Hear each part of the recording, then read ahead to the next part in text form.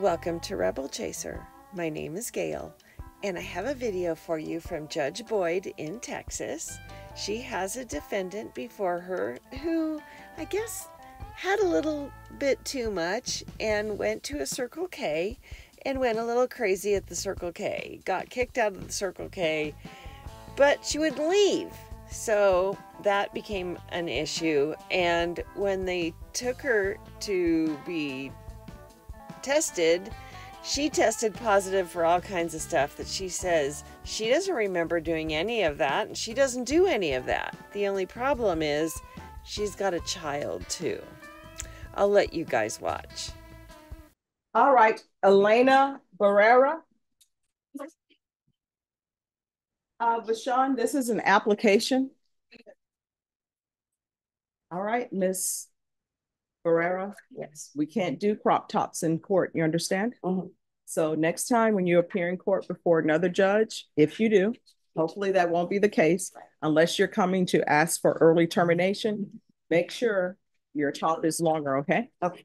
All right, court is calling two thousand twenty-four CR zero zero seven one one six, State of Texas versus Elena Barrera. Can I have parties announced for the record for the state Andrew Harris Edelman. defense? Doug Campbell for Miss Barrera. Are you Miss Barrera? Yes. Counsel, have you received all of the discovery? Did you review it with your client? Yes, Judge. Court will find that the state is in compliance with discovery. Ms. Barrera, did you review the application for community supervision with your attorney? Did you understand it? Yes. And did you sign it? Yes, I did. Did you review the true bill of indictment with your attorney? Did you understand it? Yes. Counsel, do you waive the reading of the indictment? Yes, Judge. State, are you proceeding on the indictment as presented? Yes, Your Honor. Did you review the document entitled Court Admonishments with your attorney? Did you understand it? Yes, I did. Did you sign it in all the appropriate places? Yes, ma'am. Did you understand you're charged with the offense of possession of a controlled substance penalty group one, less than one gram? That's a state jail felony. Range of punishment is anywhere from hundred and eighty days up to two years in the state jail facility and up to a ten thousand dollar fine. Did you understand? Yes, ma'am. If you have a plea bargain agreement with the state, the court does not have to follow your plea. If for any reason the court does not follow your plea and gives you more than you bargained for, the fact that you entered a plea will not be used against you and you will be allowed to withdraw your plea. Did you understand? Yes. Did you understand you have a right to jury trial, a right for you or your attorney to cross-examine and confront any witnesses the state would call and the right to remain silent? Yes. Did you understand by entering this plea, you were giving up those rights? Yes. And did you intend to give up those rights and enter into a plea in this case? Yes, I did. Counsel, has your client been able to provide you with any defenses? Yes, Judge. Do you believe she has a rational as well as a factual understanding of the charges against her? I do. Do you believe she's currently competent and was legally sane at the time of the offense? Yes. Ms. Barrera, has anyone threatened you, forced you, or placed you in fear to get you to enter the plea? No. Anyone promise you anything other than the plea? No. Are you satisfied with the way you've been represented? Yes. Are you a U.S. citizen? Yes, ma'am. Court will find that defendant has knowingly and voluntarily waived her right to jury trial. Did you review the plea bargain page with your attorney? Did you understand it? Yes. According to the plea, punishment is to be assessed at two years uh, in the state jail facility, correct? Correct, Your Honor. Any objections to the court changing that? No, Judge. There's a five hundred dollar fine and the state recommends community supervision. Did you understand that to be the plea? Yes. Yes, Judge. Defense? Yes, Judge. State, is that the plea? Yes, Your Honor. Did you review the waiver of appeal paragraph with your attorney? Did you understand it? Did you sign it in both places? Yes, I did. Did you understand by signing that you're waiving your right to appeal? The only items that can be appealed are written pretrial motions that have been filed, heard, and ruled upon by the court. Did you understand? Yes. Counsel, have there been any such motions? No, Judge. Outside the agreement, the state is requesting that your community supervision be for a term of two years. There be a TAP evaluation, eighty hours of community service restitution, and the DOEP course. Did you understand those were recommendations from the state and the court does not have to follow those recommendations? Yes. Then to the offenses charge, how do you plead? Guilty, not guilty, or no contest? Guilty. State any evidence. Contained in Exhibit One and attachments, Your Honor. No objection. State you may be excused. Thank you, Your Honor. Did you review the document entitled waiver and consent to stipulation of testimony and stipulations with your attorney? Yes. Did you understand it? Yes, it did. And did you sign it in all the appropriate places? Yes, Again, did you understand you have a right to jury trial, a right for you or your attorney to cross-examine and confront any witnesses the state would call and the right to remain silent? yes, Did you understand that today the state will be presenting evidence in the form of witnesses' statements and police reports? But most importantly, there will be no live testimony. Did you understand? yes, Court will find that defendant has knowingly and voluntarily waived and consented to stipulation of testimony and stipulations. Court will accept into evidence states exhibits one and attachments, and the court will review the same. All right, after reviewing states exhibits one and attachments, the court will find there is sufficient evidence to find you guilty, and the court will find you guilty. Are you proceeding with sentencing? Yes, Judge. Anything you wish to say on behalf of your client? Judge, my, my client really wants to get this behind her, and she hopes that the court follows the agreement we have with the state. All right. Uh, do you have any children? yes. What are their ages?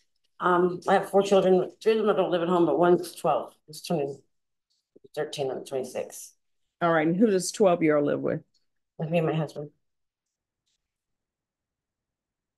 Since when? His birth. All right, so what are you doing with on you? I, uh, I have no memory how any of that transpired. I hadn't been in any kind of trouble. I went to go meet up with a friend and I had one drink. I remember having two or three sips out of it and I don't remember anything else. And I woke up and I came back and I was in jail. So I have no idea. All right, so have you ever used cocaine before?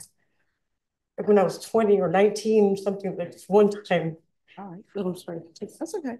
So here's the thing, you're gonna be drug tested today. Okay. And what are the results gonna be? And here's the thing, just be honest with me. I'm inclined to grant your application. I'm trying to figure out what services you need. So you won't end up doing two years at the state jail facility, potentially. Mhm. So when you're drug tested today, what are the results gonna be? And you're gonna get drug tested today. I was drinking, um, and I don't think it was a coke, but I, that, that my, so All potentially yeah, because it was around the house. And that's why my husband, we're moving, so we, we're, we're moving to get away from the people that have the No, stuff. no, no. Why is, why is cocaine around your house? Like, because we're moving, like, like, it's it's not my, okay, I'm sorry, it's not my. No, wh- why is cocaine around your house? apartment. Judge, I think she was saying she's moving, and the people that she lives with have the cocaine, that's why they're moving. So, but why would she be positive for unless she's on the manufacturing line, potentially? I don't understand why she would test positive for. I just thought that, that people said that it comes out of people's pores, and if you touch something, then you get it too, that's what I, I heard on. So have you been touching people? I'm just like, we live in the same place, I was just thinking, maybe, Are you trying to say that you might have a contact? high yeah, or something, that's because I've been around it, that's all. All right, so it is ten sixteen AM. Mhm. Why would you be positive for alcohol? It's morning time. So I drank yesterday, All right, and then the why would you be positive? because I lasted in your system for like three weeks, right? Like Three months or something. I So don't- you have a twelve year old and you're using, you're around people who um, have alcohol, I mean, who have just laying around an apartment. I don't understand why you have a twelve year old living in that situation. That's why we're moving. I mean, like, I just, I, I'm just, I'm disabled, I I want to get a, a disability check, so like, and then he got a better job, so now we were able to get our own place away from all this other stuff, so that we don't have to deal with this anymore. Okay, at the end of the day, honestly, and I will tell you, your attorney has done child protective services cases. I don't understand why child protective services is not involved in your life when you're at Circle K and the officer is called out because they say you're causing a disturbance at Circle K and you had a previous criminal trespass there. And that officer tells you, you know what? Let me know where you need a ride. I'll give you a ride to that location so there won't be any problems.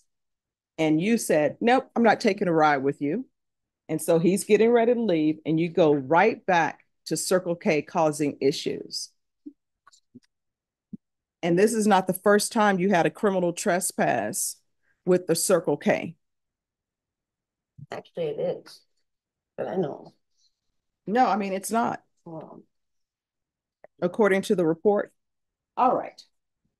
I don't know why Child Protective Services is not involved in her life. Child Protective Services should be involved in her life because twelve-year-old around does not mix. So I'm going to do what I can do to protect the child and hopefully set conditions for her where she will be successful. And I'm going to give you these conditions. And if you miss any of these appointments, a warrant is going to be issued for your arrest. Do you understand? Are you employed? No, How do you support yourself? I get disability Disability for what? for bipolar disorder. All right. Okay.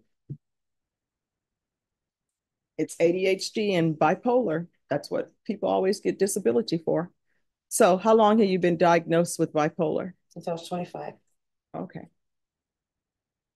And has your twelve-year-old been diagnosed with anything? I mean, you got ADHD, but we don't, they say, And is she getting SSI for her ADHD? no. Court is going to sentence you to two years in the state jail facility, suspended and probated for four years. There's a five hundred dollar fine that will be probated. There's going to be proof of employment or SSI within thirty days. There's to be no employment as a home health care provider or with minors. There's to be no unsupervised contact with minors. One hundred hours of community service restitution. I'm gonna order parenting classes. Once she completes parenting classes, the community service hours will be deemed satisfied. Uh, we can do a TAP evaluation out of custody. Uh, follow all recommendations. If they recommend inpatient treatment, she'll go into inpatient treatment. There's going to be hundred and eighty sober meetings. In hundred and eighty days. Uh, probation, sorry, I'm gonna need you to do Child Protective Services job or help them with their job. Uh, I'm gonna ask for field visits. One time per month. Until further notice. And probation is you can let them know, she says there's a twelve-year-old at the, at the home. And to make sure they check on the twelve-year-old. Uh, probation, is there anything else she needs? All right, thank you. Uh, there should be regular reporting by Zoom or in person and the UA hotline until further notice. And there should be no contact with Circle K. Let's see where this is located. At five four nine four Babcock Road. Uh, seven eight two four zero. Uh, probation, is there anything else? Okay. Is there anything else you need from the court to be successful? No. All right, did you review the document entitled Trial Court Certification of Defendant's Rights to Appeal with your attorney? Yes, Did you understand it? oh, say this, Did you sign it? yes, Because this is a plea bargain agreement, because I followed your plea bargain agreement, and because you waive your right to appeal, you do not have the court's permission to appeal. Because this is a felony conviction, you're not allowed to own or possess any weapons or ammunition. If you have a question over what a weapon or ammunition is, you need to speak to an attorney. Do you understand? yes, All right, we can go off the record. Uh, probation, if you can make sure that she gets a UA no later than, uh, tomorrow. In this court to be successful on probation, communication is key.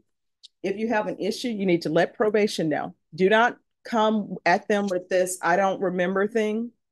If you're gonna use, pick up the phone, call probation. You understand? yes, ma'am, And if you feel as though they're not addressing the issue, you can always come back to me. Do you understand? yes, And I think you should know that a 12 year old should not be living in the situation that you have that 12 year old living in. Do you understand? yes, I do.